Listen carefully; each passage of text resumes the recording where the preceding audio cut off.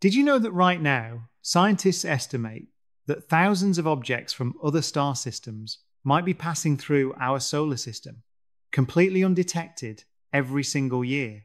So, that age old question are we alone? What if the answer isn't a radio signal, but a rock?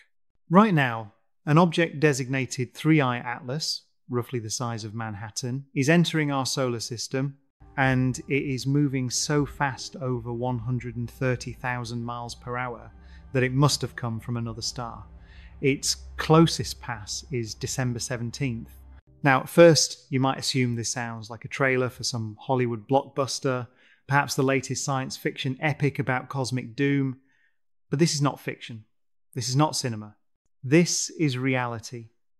This is 2025, and the object in question has a name 3I Atlas. The 3I designation marks it as the third interstellar object ever discovered by humanity. The first was the enigmatic Oumuamua in 2017, a cigar shaped visitor that slipped through our solar system before we could properly study it. The second, 2I Borisov, resembled a comet, though with some unusual chemical signatures. But now Atlas has arrived and it is already rewriting the textbooks. This isn't just a minor update. We're talking about tearing out whole chapters on how solar systems form. The assumptions we've held for decades are being challenged by this single object. It's a true paradigm shift wrapped in a cosmic enigma, forcing us to ask questions we weren't even smart enough to pose a decade ago. The discovery of Atlas jolted the global scientific community into action. Practically overnight, telescopes on every continent abandoned their scheduled programs. The James Webb Space Telescope, our most powerful observatory in orbit, turned its gaze toward this faint traveller. Even radio telescopes, tuned to the whispers of pulsars and quasars, shifted their focus. Why such urgency? Why the coordinated scramble because Atlas does not behave like any object we have ever studied before. It began on July 1st, 2025 at 2104 Universal Time. The Atlas telescope in Chile, a survey designed to detect potentially hazardous asteroids, flagged an anomaly. A dim ghost like point of light no brighter than a 19th magnitude star. To put this in perspective, the magnitude scale of astronomy is counterintuitive. The lower the number, the brighter the object. The brightest stars we see at night are magnitude 1 or even negative. A 19th magnitude object is thousands of times dimmer than the faintest star the human eye can perceive. In other words, it was barely there at all. But within 24 hours, the Minor Planet Center issued a circular that stunned astronomers worldwide. The object's orbit was not elliptical, it was hyperbolic meaning this was not a member of the Sun's family, not an asteroid, not a comet from our Oort cloud. This was an interstellar traveller, a cosmic tourist, a visitor from the dark between the stars. And unlike the first two interstellar objects, this one was enormous, tens of kilometres across, comparable in size to Manhattan Island. Think about that. An object potentially miles wide, completely dark, tumbling out of the void. It highlights a massive gap in our planetary defense and our astronomical surveys. We're only seeing the brightest and biggest of these visitors. How many smaller ones, perhaps just as strange, have passed by completely unnoticed? This discovery is valuable because it proves the interstellar highway is far busier than we ever imagined. Then came the velocity. Atlas is moving at 58 kilometers per second, or about 130,000 miles per hour. To grasp this, consider Voyager 1, the fastest spacecraft humanity has ever built. After decades in space, it now cruises at a respectable 17 kilometers per second. Atlas is moving more than three times faster. This speed is staggering. If Atlas were on a collision course with Earth, and I must stress, it is not the impact energy would be sufficient to annihilate a continent. But the real mystery lies in how Atlas acquired this speed. In astrophysics, the usual explanation is gravitational slingshotting. A small body swings close to a massive star, siphoning orbital energy and accelerating outward. This is the same principle we use to fling our probes to the outer planets. But when astronomers traced Atlas's path backward through the galaxy, they found nothing. No massive star, no binary system, no stellar nursery capable of providing the necessary kick. This is the first major intellectual breakdown. The data is clear, the object is moving at escape velocity, the physics is also clear, something must have accelerated it. The fact that these two truths cannot be reconciled is the core of the mystery. It's not just that we can't find the origin, it's that the lack of an origin defies a fundamental principle of celestial mechanics. This lack of an origin point is, frankly, impossible under our current models. Every high velocity object must have an accelerator. The fact that its vector points to an empty patch of sky is a profound contradiction. This forces us to consider more exotic, unproven mechanisms, perhaps a close encounter with an intermediate mass black hole, or ejection from a complex, chaotic trinary star system that has since dissipated. The silence from its background trajectory is deafening. It is as if Atlas were fired from a cannon, a cannon we cannot see.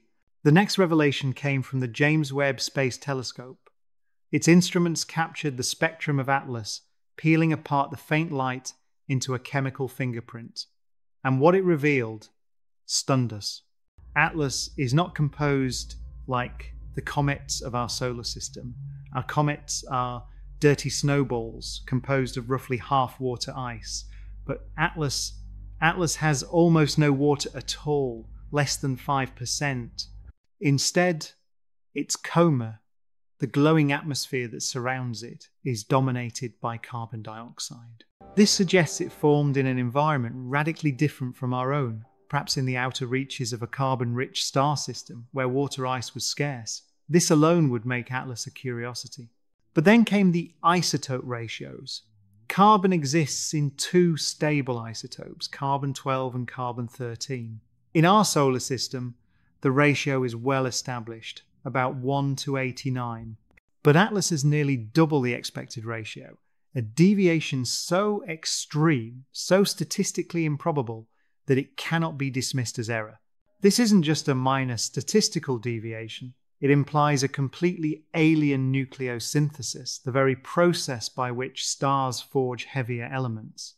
Our solar system's 1 to 89 ratio is the result of a specific history of supernovae and stellar evolution. Atlas's ratio suggests it comes from a stellar neighborhood with a completely different history, one perhaps much older, or one seeded by a type of supernova we've only theorized about. This is profoundly educational. We're not just looking at a rock, we're holding a piece of another part of the galaxy. This isotope ratio is a message from its home. It tells us that the galactic recipe for making elements isn't uniform. There are other kitchens out there running on different stoves, and Atlas is the first proof we've ever been able to actually physically analyze. Isotopes are like cosmic birth certificates. They tell us about the environment where an object was born, the star, the disk of gas and dust, the chemistry of its nursery. And Atlas's birth certificate tells us this. I was not born anywhere you recognize. But the most puzzling anomaly was still to come. When astronomers calculated its trajectory, they discovered Atlas was not simply coasting along a predictable hyperbolic path. No, it was accelerating. Not much, just a whisper, but measurable, statistically undeniable. Now, comets can accelerate. As they approach the Sun, their ice is vaporized, creating jets that act like tiny rocket engines. But remember, Atlas has almost no water, and the carbon dioxide jets observed are far too weak to account for the extra push. Something else is nudging Atlas. This non gravitational acceleration is the single most baffling data point. If the outgassing isn't pushing it, what is? Is it reacting to the sun's magnetic field? Is it shedding mass in a way we can't detect? Or is the acceleration not propulsion, but a reduction in mass? These questions have pushed the discussion from the known into the speculative. This is where the conversation turns from the known into the speculative. Harvard astronomer Avi Loeb proposed a provocative idea. Perhaps Atlas is not entirely natural. Perhaps it is a light sail, a thin, broad structure pushed by the pressure of sunlight itself. This is not fantasy. We have built experimental light sails here on Earth. Projects like Breakthrough Starshot envision sending tiny probes to nearby stars using this very principle. And the anomalous acceleration of Atlas matches the predictions for such a sail. Now, as a physicist, I am cautious.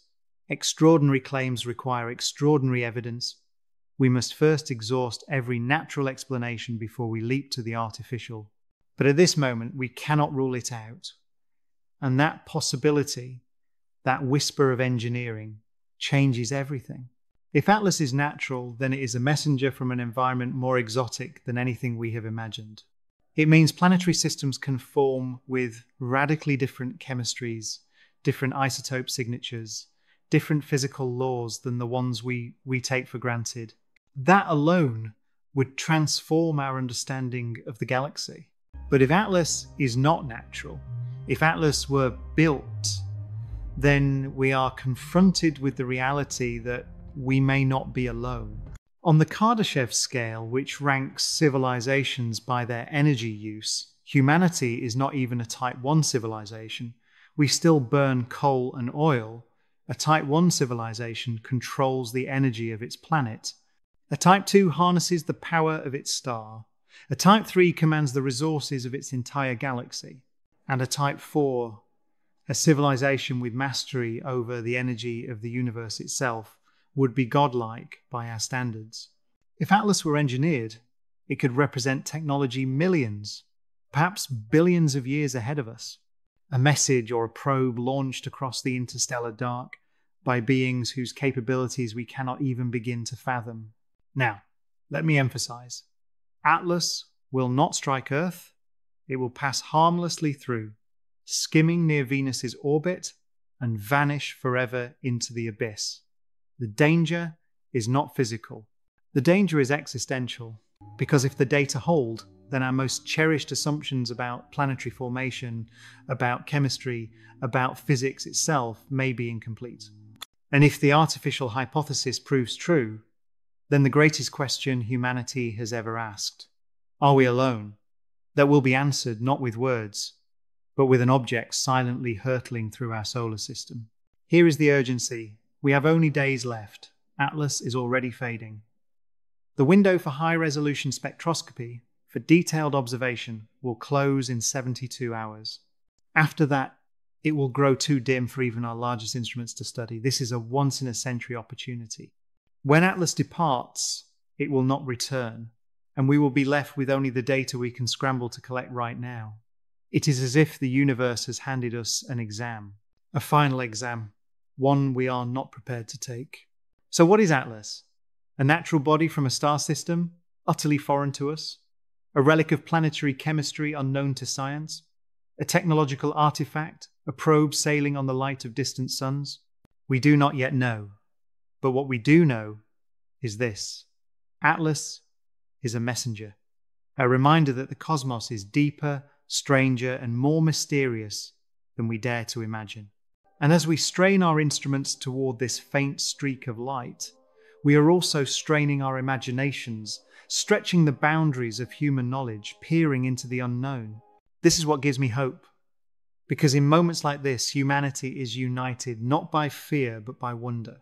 Across nations, across disciplines, across cultures, scientists are pooling their resources, racing against time, not to save us from destruction, but to glimpse a truth larger than ourselves. That is the essence of science. That is the essence of being human. And perhaps when our descendants look back at this moment, they will say, 2025, that was the year we first glimpsed the wider ocean. That was the year we realized we were not the only swimmers in the cosmic sea. So I leave you with this thought Atlas is not here to destroy us. Atlas is here to humble us, to remind us that we are children in a universe filled with mysteries. It asks us a question Will we listen? Because history does not give us second drafts of moments like this. Once Atlas slips into darkness, it will be gone. But perhaps, just perhaps, it has left us with something more lasting a whisper from the stars, a message written not in words, but in motion, in chemistry, in mystery, a reminder that the story of the universe is still being written. And we are fortunate enough to be here now to read the next chapter. The real lesson here, the one that Atlas teaches us, isn't just about astrophysics, it's about humility. It's the profound, valuable reminder that no matter how much we think we know, no matter how advanced our technology becomes, we are just beginning to understand the universe. We are standing on the shore of a cosmic ocean, and an object like 3i Atlas is a message in a bottle that has washed ashore, written in a language we don't yet understand. It forces us to remain curious, to keep questioning, and to accept that the most exciting truths are the ones still waiting to be discovered. What do you think? What is your theory about 3i Atlas? Is it a natural marvel or is it something more? Let me know your thoughts in the comments below. And if you enjoy grappling with these big cosmic questions, make sure to subscribe for more content that explores the deepest mysteries of our universe.